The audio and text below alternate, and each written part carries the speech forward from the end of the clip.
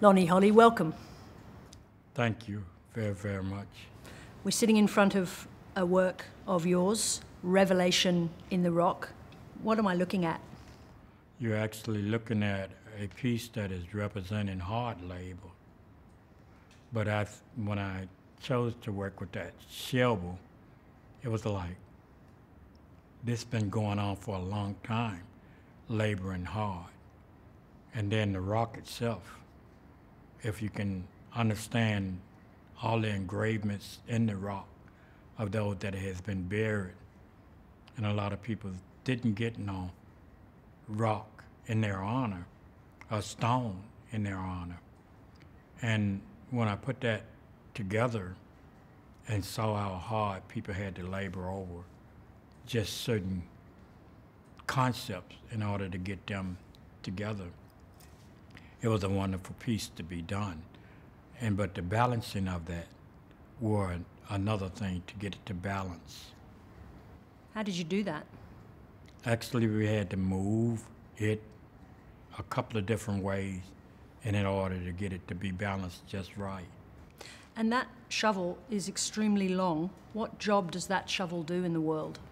In America, that shovel was for a purpose of removing waste out of something like your separate tanks or back in the day, other kind of waste that human human waste, and it would shovel it out.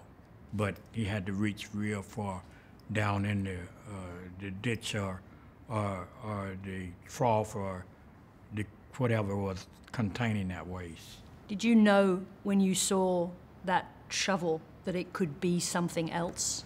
I didn't know that it could be this far up the museum ladder, but I did know that it had purpose and meaningful uh, identification.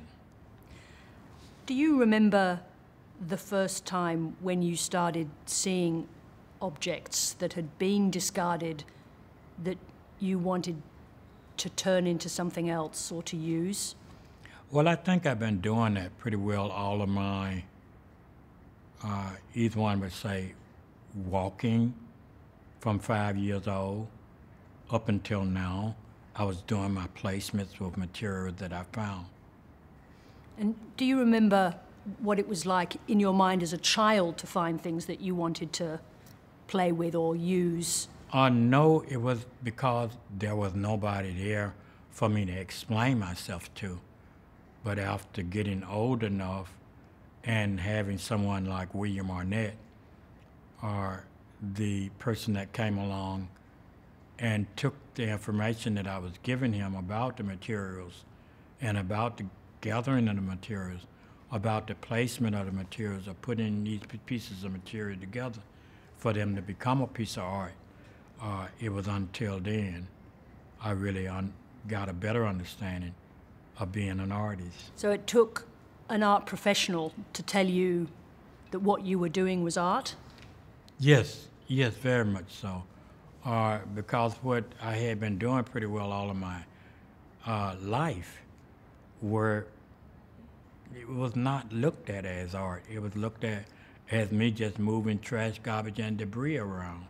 Instead of me getting celebrated for moving material sources around to tell a story about what their conditions were. What is it about, you use that phrase, trash, garbage, and debris? What is it about those materials that you like? What is it about those materials that scare me the most?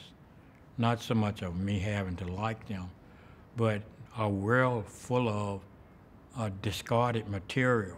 And this discarded material is become become a a moving source by wind, water, and any other way that they are moving because of in the act of deterioration, they don't move but one way, and that's mostly to the water or to the edge, because the water gonna take them in, take them out, take them in, take them out. It, the the ocean itself is like a big wash machine to me.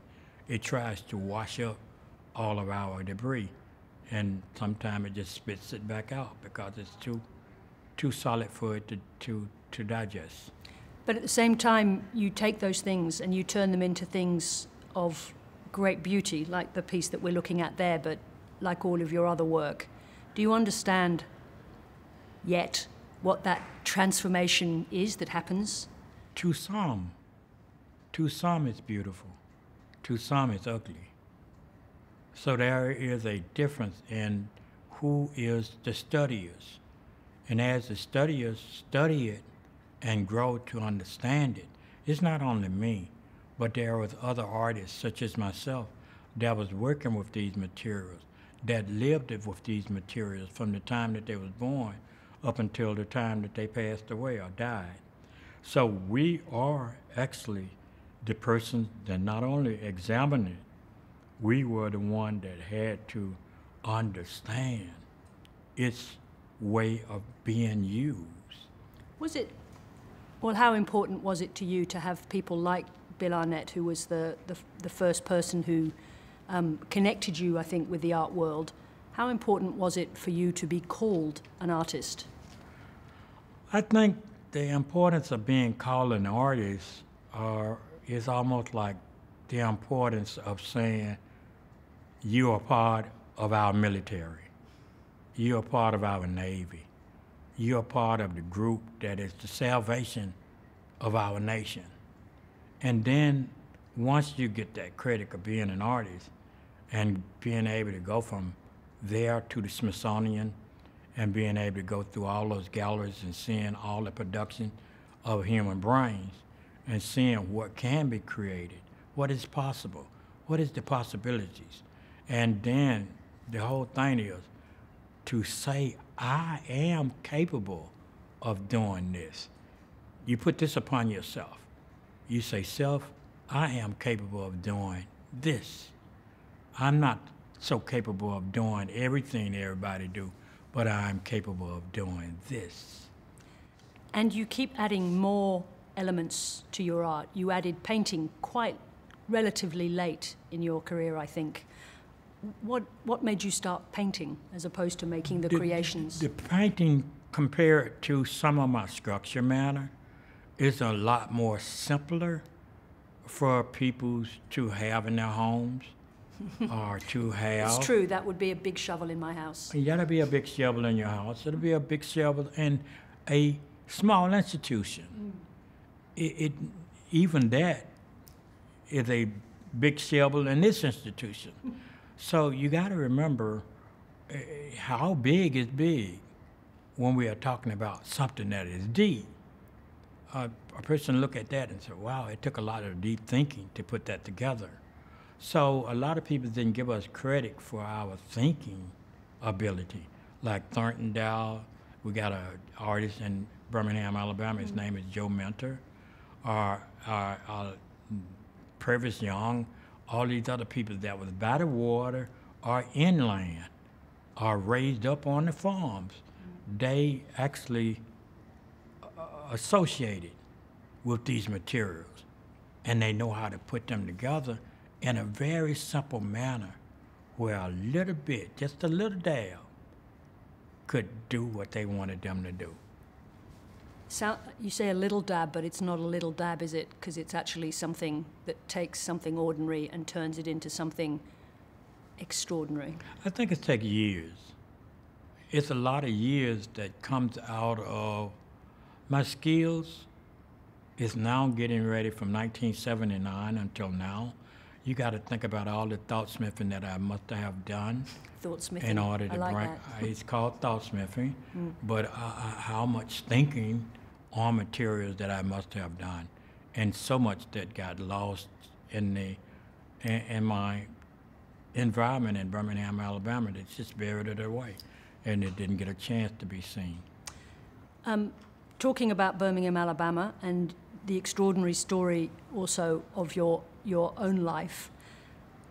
Of those early memories in that period in the 1950s and early 60s in particular, do you remember adults being cruel to you or kind to you? What, what, what's in your, what are the pictures in your head from that time? I think, I, I'm, excuse me, I think there were good people and there were cruel people. But all the people that I kind of had to study was trying to protect something. And the one that actually was cruel to us as children, they didn't see us as children. They saw us as little animals. And so putting us away or getting us out of sight, like Alabama Industrial School for Negro Children, that I was put into the slave camp at 11 years old, they didn't see us as children. You see what I'm talking about? And especially me that had grew up around the Alabama State Fairground, and, and every, eh, from one and a half until I turned 11, how much I had seen with a drive-in theater a half a block in the back of me, how much I had seen, and a, and a, and a racetrack, how much I had seen, uh, and a, what, Constantine restaurant, how I, I had seen people rushing to be fed, rushing to have a little shot after they have a tired day. All of this kind of stuff affiliated with the art uh, of what I've been doing. Do you remember being hungry as a child? Many times. Many times. I- Am I right that the, the woman who took you in, you, you were malnourished when she took you in? Many times. Don't forget that. I, I can't, I try not to. My thoughts, I call it an ocean of thoughts. So when I dive in thought, uh, some I try to uh, limit myself from having to think, but the most violent thoughts of mine were about me being hungry. And that time for any child is a, is a wicked, horrible time. You had a toy, a single toy, I think, a wagon. Is that right? You studied me well. I did have my little red wagon. And after I got hit by the car and drug up underneath that car for two and a half blocks and stayed unconscious for three and a half months, I never did see my wagon again. I, I did a, little, a piece of art out of an old wagon that I found and a block of wood because I was going across the street to collect some wood for a fire. Mm-hmm. And I asked the question, where did my little wagon go? All the things that mattered to me in my life, it was almost taken away. And I didn't know that I was being fashioned. I like the word fashion. Brain fashioned it for to be the artist that I am. It's, it makes me think of something that Jane Fonda said, who's one of your mentors, I think, in a way. And she asked you the question, why did you thrive? Why was your brain fashioned to, to enable you to survive when so many people who had a similar story to yours, with hunger, with hatred, being put away, chaotic childhood, they didn't thrive? How were you able to thrive? I think one thing were that I was kept away from uh, what was even more harmful for me. I was up and down the ditches and the creeks. And from that, from the ditches, I could go in the ditch anytime I got ready. Well, not anytime, because Mr. McElroy said, get your ass out of this house.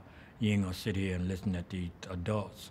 Get out of here and go dig them worms digging those worms, corralling those crawfish, looking at those minnows and playing with those pieces of broken glass and broken uh, uh, material actually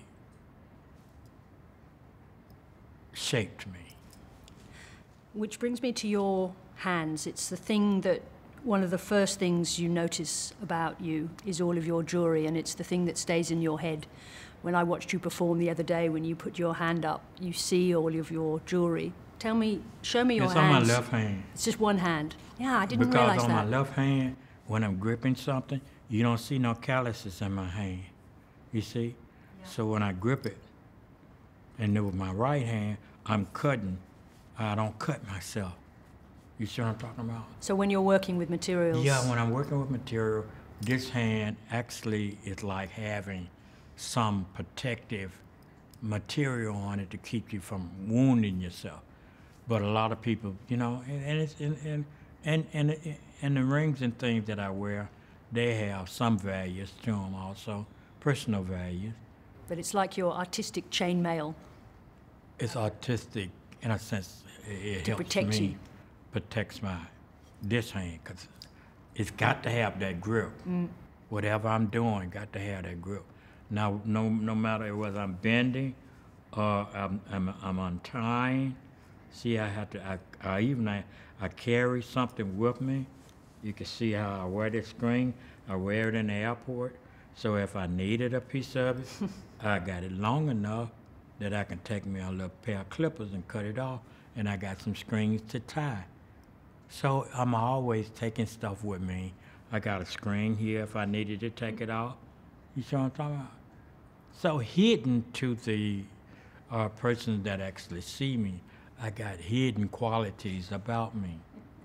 And are you always doing it? So you take that with you, but is there any time in your life when you're not looking to make something? Is it always there, the compulsion? Now, now the compulsion that you just say, I haven't been using that word, but the compulsion to use my brain, I'm so thankful that it's still capable of being used.